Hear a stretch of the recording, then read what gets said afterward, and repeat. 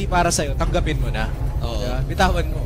Ako, na-realize ko yun sa Dota. Naglaro ako nung buong high school ko Dota. Na-realize ko hindi para sa akin. Itigil ko. Ah, Ah, siyempre, who knows kung may backup ba yun o wala. Ah, Pero here tama. comes the backup para sa bursting heart of Chantel at Pacbet. Ah! On the way na, ultimate ang dinong agad kay, kay, kay Pacbet. Ako po, yung Kahit first blood has been taken by Killing mukha- Kikos. Push na top late na first year turret natin. Oh, Oh, nilabas ang puwet mong may racket para kay Rojin. Mukhang wala kang tatakbuhan dyan. Oh, bouncing baby boy, makukuha ni King Cosmos. Hindi nakapatay doon sa kabilang banda. Pacbet dito. Oh, overextension. Pero hindi na lang din. That's going to be one for one trade. Patay si Rojin pero patay din si Tay. Nako, sa bottom lane, nagkabigayan. King Cosmos dito. Nako po, nakita si Ah, Pacbet. nahuli yata si Pero tower lock. Tower lock ang kanilang ginawa. Tsaka pa lang nila papatayin. This time, pero King! King! Dexy. Ah, King has been taken down. niya King. overturn dito para kay Dexy. Mga kaibigan, Ah, Hurricane ay, para kay ay. Ah, yun.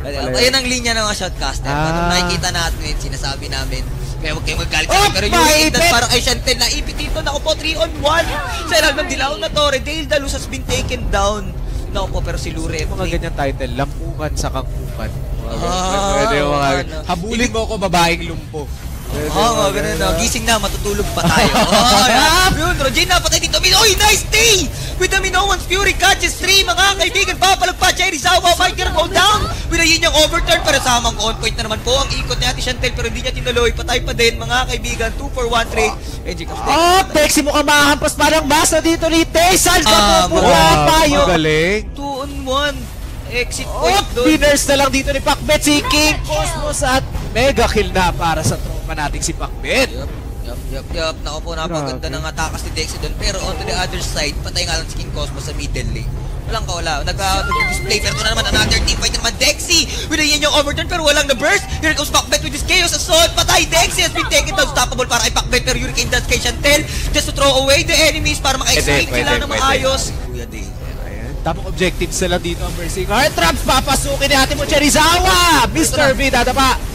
Bilibino Once Fury, na nga mga kaibigan ng double kill para kay Cherry Sawa, walang sawa. Pero Hurricane Dash para kay Chantel, disengage na lang. Ginone niya lang din naman yung dalawa para hindi mabaka pa yan yung dalawang other two na pinatay ng Bursting Heart Trap. Pero Cherry Sawa dito might na fall down. De Dexy na pa overextend. Pwede Ah! Isang kayo sa lahat na nanonood, pwedeng sumali. Oh, Mr. V, dadapa. Mabubuhay pa pala. Kapura na. Si Wow. Piti ni ate Chantel si Del dito. But the damage is just too much and Del will get that kill. Look at that. Baka turnaround kill pa nga mo. Ang dami pa si Tay. Pinagbabato ng Fidget Spinner sa mukha masakit ba yan? Boy! Oh! Nga lang. Double kill para sa kanya. Bukol ka talaga. Pero Luri on kayo back stream sa timeline nyo. Public reach sa Mobile Legends Cruise Gaming Groups. Tapos, eh, caption nyo hashtag Civil War ML. Okay?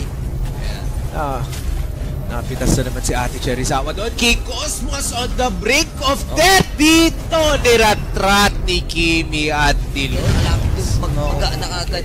Updale with the Tyrant's Oh!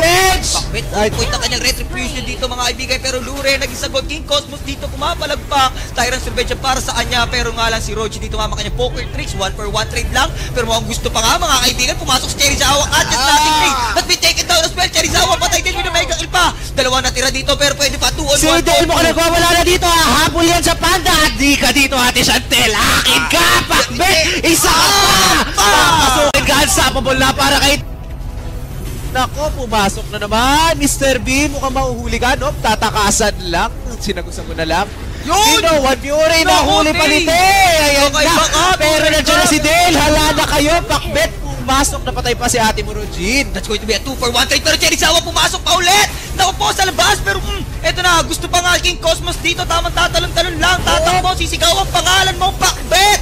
Naku po patay dito godlike pa nga mga kaibigan Cherry Sawa napatay din naman dito si Oh, pinabol pa rin ni Ganda King ng mga Cosmos at dribble, makapatay. alley-oop, at uh, fade away, mga fade away shot crossover, pag 3 point pasok court pala ng kalaban, no? pero ito, ito na po, ako po, nagkakita na naman dito mga kaibigan, another team fight. Tingala si Chantel with her Hurricane Dance. Naku po, napaaga. Dexy, ang kauna ng casualty dito sumunod si Sherizawa. 1 for 1 trade. Tama. Nasa core. Napaka-importante pa naman. Ayan na, si Del nagwawala na naman.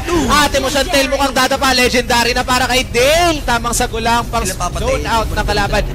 Tama. Talaga yung ano. Tama, tama, tama. Sa, talagang dabog yun. Tunay na dabog. Totoo, parang nagtantrums ka lang. Kumbaga.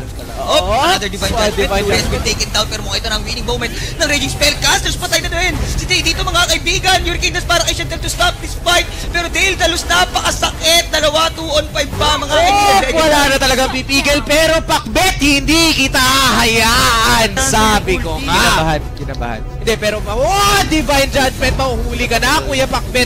At mukhang eto nakaka-winning moment as makukuha na rin ni King Cosmos.